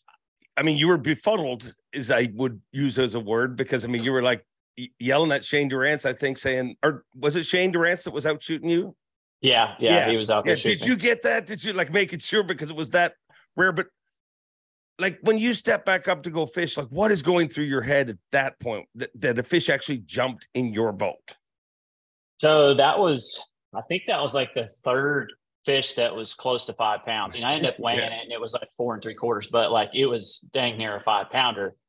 Um, I was like, man, this day is is it's it's gonna be great. You know, I mean, um, but really honestly, the the thing that went through my head right then was um just the fact that like you know, man, I've got if if if it if today's gonna go like this, I've got a chance. Like I, I can win this tournament, like without a doubt. So um, it felt really good, Dave. Um, I've never had anything happen to me like that before.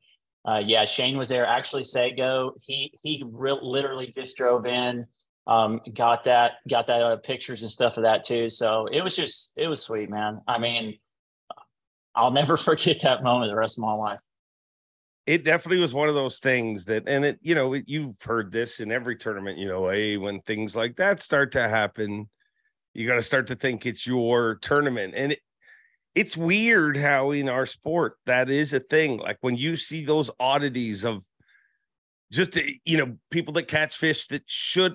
I remember Lee Livesey, some of the fish that would get wrapped up at Lake Fork, and you're just like, "There's no way this fish gets out."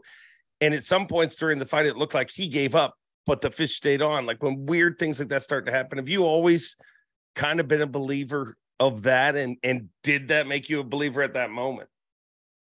Yeah, yeah. I mean, um, yeah, I think there's there's times where you can't do nothing wrong, man. It's it's gonna happen. It's meant to be. Um, so so yeah, those those those are the those are the things that get you the win. Um, you know, I I didn't, I don't know if I had like one of those moments at Seminole when I won this year, but because it was just every day was, was great. it was way more of a grindy tournament, you know, like a lot more pressure because you got the lead. But, but yeah, those, those, those, those moments are, um, they, I believe they'll happen. That's what gets you those, gets you the wins. Is there any similarities between those two wins? Like when you look at them, is there any similarities in your mind? Um, no, they they're really different. Like like really are because I'm sitting as as a you know I'm in the lead. I've got a four pound lead I think going in the last day, and I was leading for three days. Um, this tournament was completely different. The pressure at Seminole was so high. I mean, and plus it was my first like opportunity to get my first yeah. win. So um, this this tournament was stress really stress free.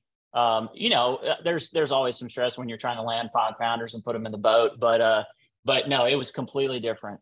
Uh, it, nothing about it seemed to be the same. It was, um, it, it's, you know, being in second place, you're not, you don't have that pressure of, of holding the lead and, and trying to win. So uh, just completely different. Which do you like better? I mean, the end result is the ultimate thing, but which do you, do you like to be chasing or do you, or would you rather be comfortable in the lead?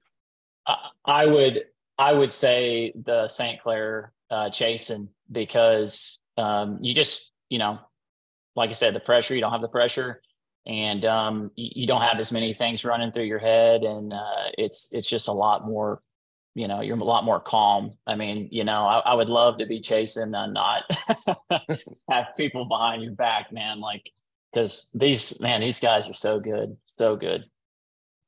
They're good, but dude, you're right up there with some of the best this year. Like you're leading Dakota Lithium Rookie of the Year you have an opportunity, you know, points wise, you're very much in the progressive Bassmaster Angler of the Year race. Dude, the last 12, like if you look where you were 12 months ago, that is not a slight at all. It's just like you said, the entire I don't think it was just you. I think when you came to the Elite Series, everybody kind of pinpointed you as well.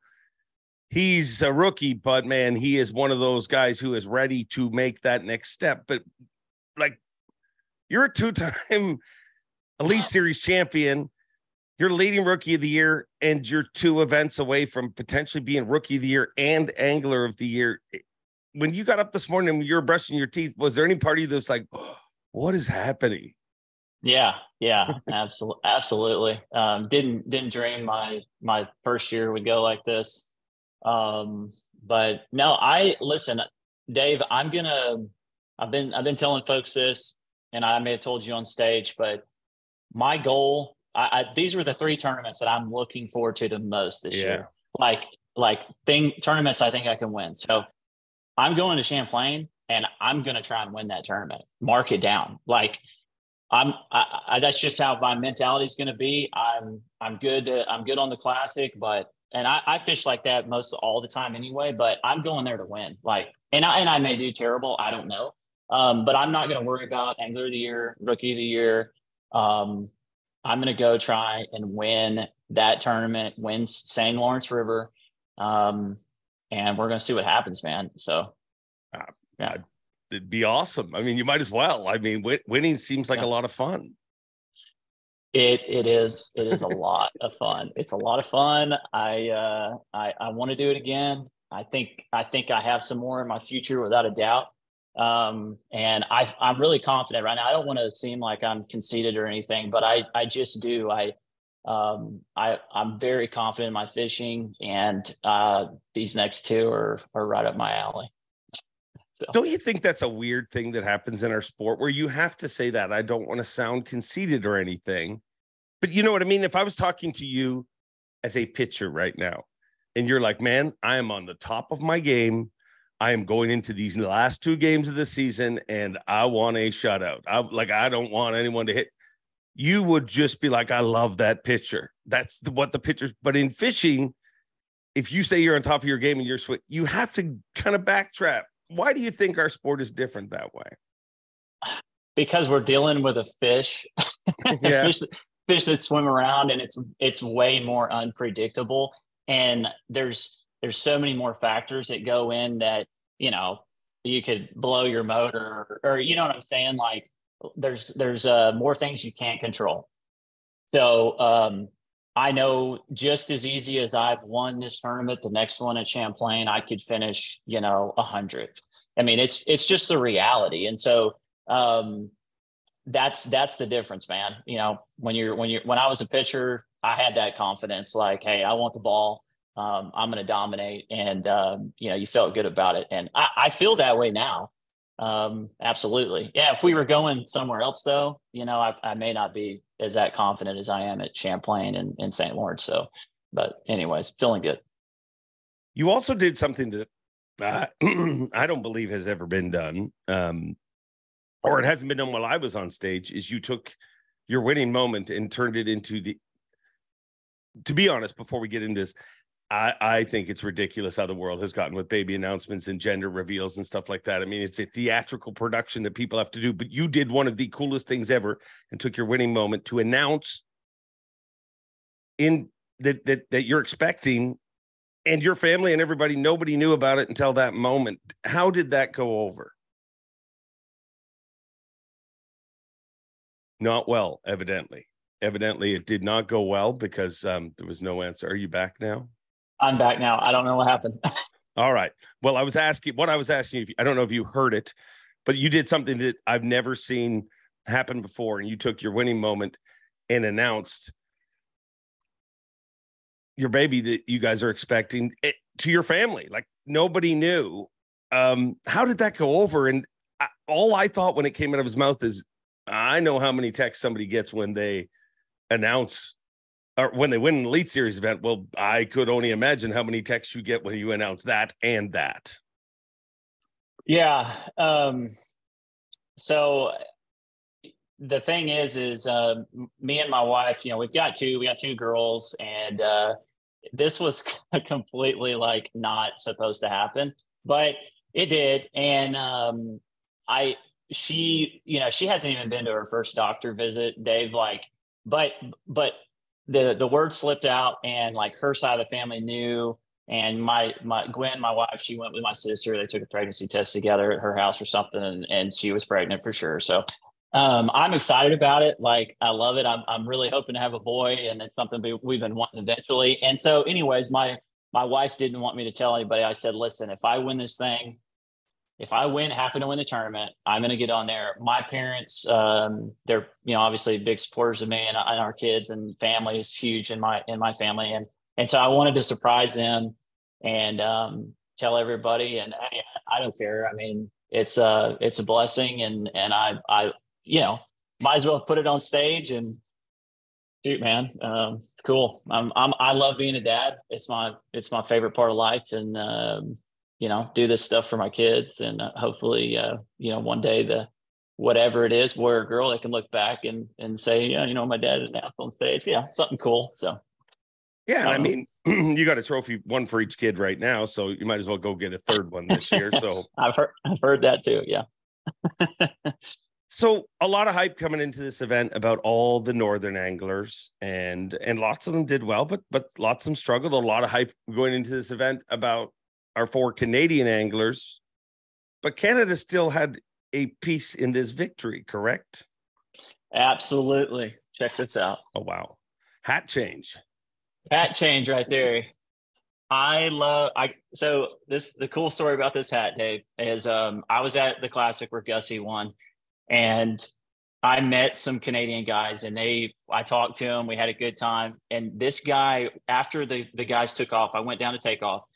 I was walking back up to my truck uh, with my father-in-law, and one of the Canadian guys, you probably know him. I don't know. Uh, he's just a fan though. He's there for Gussie, and he ran up to give me this hat and I thought it was really, I, I, thought it was really cool. I always love, uh, I love Canada. I love, uh, been up there a couple times hunting, and um, that guy was awesome. I don't know his name, but shout out to him.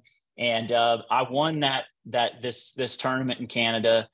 Um, I've done well over there, made some money in the past in Canada, and I just I just love I I love St. Clair, and it's just it's really special to me. This hat right here is it's funny how I got it, and I thought it was cool to to throw it on real quick. You're from Canada, and all your all your fans that follow you in Canada.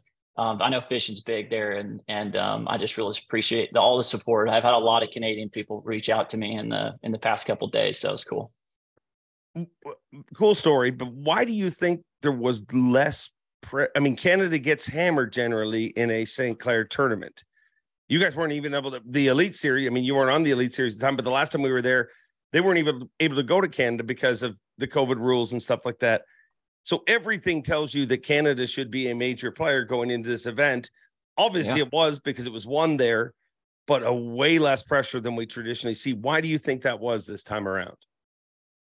Um, I don't know because the my, that was my exact logic going into this thing was Canada has to have had less pressure you know, since with the COVID and it being, um, you know, closed and everything to the to the to the Americans, and um, but the fishing over there, it, it really wasn't as good as I thought it was going to be. I mean, it, I, I checked a lot of areas, and and you can miss fish over there because it's you know anywhere on St. Clair it's so vast, but it it just wasn't that good. Um, and I just happened to find the the one little area there that was.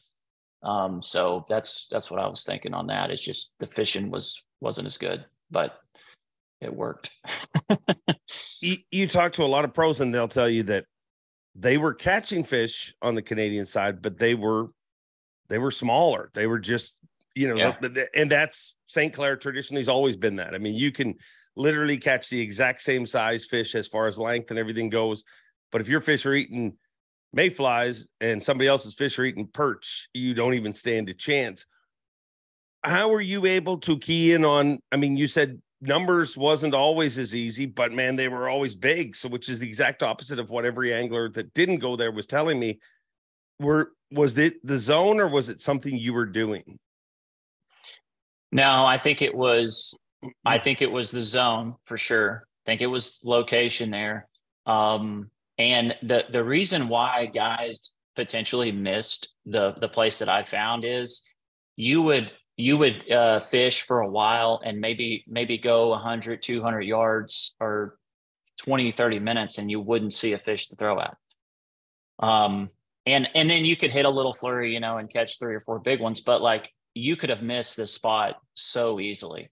And i just happened to to to to i was running my boat across the lake and um, I saw some cabbage on my 2D and I, I shut the motor down. That's what I do there a lot of times when I'm looking for spots. And it just happened to be like, you know, my, one of my first uh, drifts through there, I, I caught a four, you know, and, and then caught some quality fish. So um, it's just fortunate for me, but it, it did. It was a really cool place. It had a lot of perch in it, more than I'd seen in other places, and it had the right grass, that that tall cabbage, and um, it was just it was the perfect it was just the perfect storm there, you know, with with the bait and and everything. I mean, those I think those big smallmouth eat those those perch for sure, and they were they were really thick there, like really thick. So, yeah.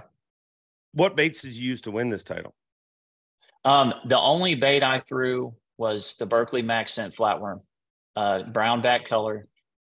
I've I've done well with that thing. You know, it's not it's not a secret. I mean, everybody no. knows that it's it's so good. I mean, if it's probably the the most popular smallmouth bait there is out there. Um, but it works. Uh, it's that simple, and and that's what I throw. I don't throw but you know two colors in that green pumpkin and a brown back, and I catch fish smallmouth everywhere I go on it, and that's that's that's what I threw. Um, I didn't catch any fish on anything else at all. It's incredible bait. I mean, if somebody ever stopped and added up, it, it has to be the millions of dollars that have been won. I mean, it, it from, yeah. And it's only been around, you know, a handful of years. Like, I mean, five, six years, I guess now. Um, it, it's phenomenal. Um, but speaking of phenomenal, one of the most phenomenal things that happened, and I know I'm, I am not trash talking you at all here. I think it is the great motivational moment that your day can start a little rough and you could still be an Elite Series champion at the end of the day. At takeoff, you were one of the first boats in the water. I show up and I'm like, like I try to get there, especially on Sunday. I try to get there an hour, hour and 15 minutes before takeoff because I, that's when I like to have real conversations with you guys, like off the microphone, and just it's a cool vibe. You know what I mean? To be down yeah. there. So I noticed you were at the dock and and always a professional. You're always there early to do top baits and everything. So you'd been in the water for at least an hour, I would imagine, when takeoff happened, and the fans are cheering and the music is pumping, and Luke Palmer leaves. He's their tournament day three leader, and you're in second place, and you go to back up, and then I see a look of terror in your eyes as you realize you cannot trim down because you left your motor mate on. Um, I thought about not mentioning on the mic, but I was like, I bet you can't really hide this. I mean, every fisherman on earth has done that. Every angler's yeah. left their plug out or done that, but not everyone's done it at an elite series event. What was going through your mind when you were leaned over the back deck of your boat, removing your motor mate? I was thinking like I am the most I'm just the biggest idiot there is, Dave. I'm serious. You're in the Elite Series, the biggest tournament you could be, you know, tournament series you could be in. And I pull one of those. And yeah, I've done it before, but I'm I'm really kind of a scatterbrain guy. I mean, I I, I do stuff like that all the time. So um, but but no, I was I I, I was very embarrassed. Um, and I got down there. I said, you know what? It's not like it's going to hurt me. You know, it's not going to cost me an hour or something. So I just trimmed her up and reached down there and pulled it off. Luckily, it's very easy to get to on my boat. Um, and then we we got out of there. But but yeah, it's it's so funny that I did that on championship day, man. so funny. Any other day, you might have been able to get away with it. You know what I mean? Like because there's so many other boats moving, but um, hey, it happens to everybody. It has happened to everybody. It happens to me way too much. Um, I mean, KJ Queen once forgot to put gas in eh, on his very yeah. first championship Sunday. And the kicker of that story that he since told me and didn't tell me on the podcast, but so he sat there again. It was his first top 10 and he was jacked to go and he was one of the first in the water. And then when he went to leave, he realized, wow, I have no gas. Um, but the kicker about it, he said he stopped at like five or six gas stations on the way to take off. I guess he gets a biscuit every morning before competition, and nobody yeah. had a biscuit. So he literally, he said, him pulling in, and he said to make matters worse, he said it's you know it's five o'clock in the morning. There's nobody around. It's a Sunday and five o'clock in the morning. So he's ripping into these gas stations, parking at the pump. They're so dead. Like, you know what I mean? He's just pulling up, running in. You got any biscuits? Not once did he stop to pump gas. So it's uh wow. It happens to everybody.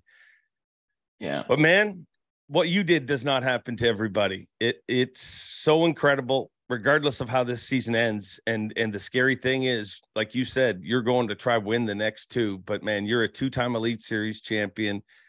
Um it, it's just unbelievable dude and it's it's the coolest thing about my job is getting to see the evolution of of pros you know as these opportunities and as they i mean this isn't an opportunity that that came to you lightly. You've worked for this your whole life. Um it's been awesome to watch and i and i can't wait to watch the rest of the season dave it's it's been a pleasure man uh, i my experience this year on the bassmaster elite series has been phenomenal everybody from from you yelling at my face announcing me on stage is my is I just get like I get chill bumps when you do that, man. It, it's really it almost makes me want to cry. Like I, the but all the people that work at Bass, um, they're just so courteous. They go above and beyond to take care of us elite guys, and uh, you guys put on an amazing tournament. Um, and I couldn't be more thankful, man. I, I, I look forward to to many more years to come and and uh, seeing you spit in my face, yelling at me. I love it. it's uh they posted a video of that this week, and I, mean, to be honest, I always kind of liked it that nobody saw it. You know, for the longest time, nobody ever saw it but the anglers, but people yeah. have got kind of wind of what that happens. But dude, it's one of the most fun things for me is the job and guys like you make it fun. And everybody kind of saw that video. And if you haven't, go to Bass's social media and check it out. But I love to, you know, because because I always tell people there's different people. There's some anglers that just like go into shell, put their head down, and kind of they almost can't look at you. There's some that like stare right in your eyes. And my favorite are the ones like you that are like, come on, give it to me because yeah, which just makes it even more fun. So I hope to yell in your face for many, many years to come. What's one thing nobody knows about this tournament that happened to you that you can tell me? Um, this is an awkward man. way to end, Joey. I know it's silent. Um, Dave, I don't know. Um, honestly, don't know if I hear one of them, if I hear some little nugget that you bring up on a podcast, I am going to. It's hard when you, you, for a different reason when I see you. It's hard when you put me on the spot like that and ask me. Um, I know, I know. I know there was something, guys, because I did the motor tote thing.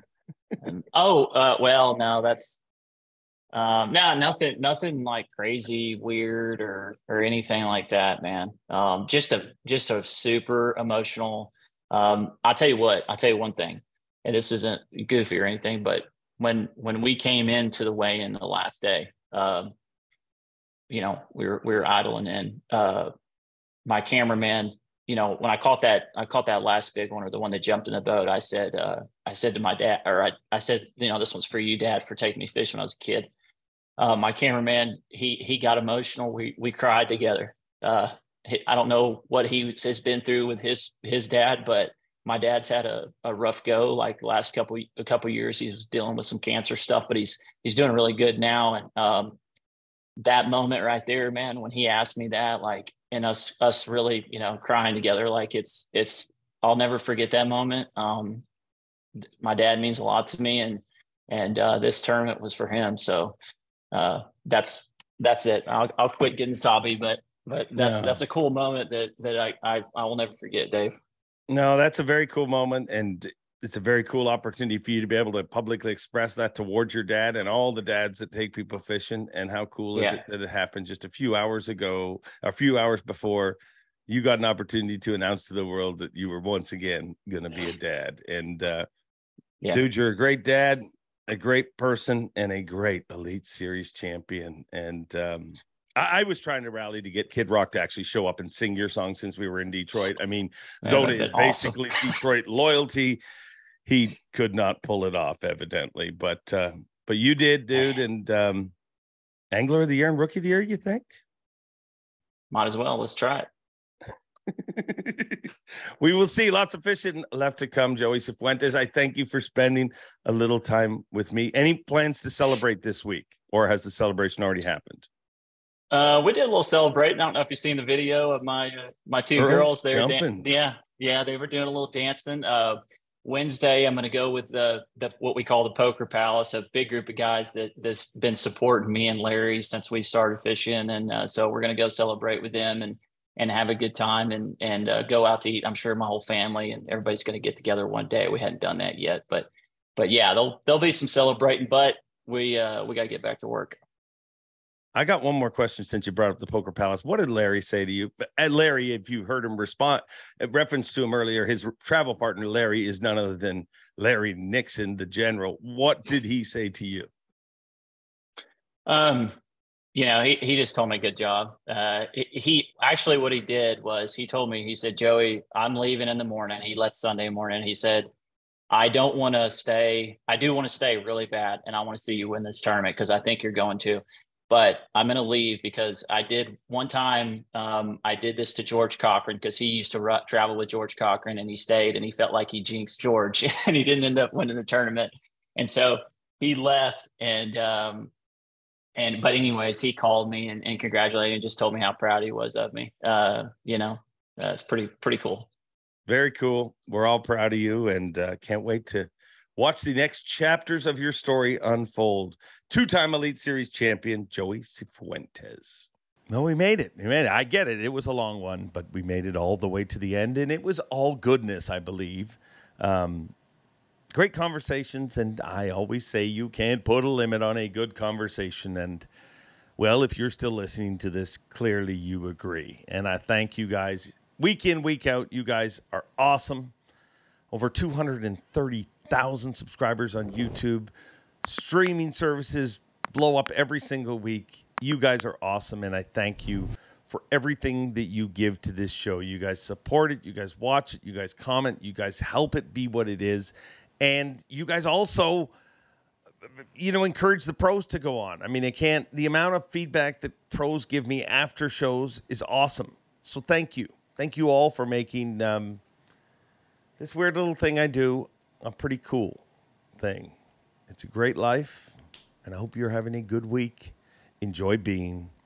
And um, as always, Bob Cobb, take it away. Thanks for watching. Please like, comment, and subscribe because Bob Cobb of the Bassmasters told you to. You hear?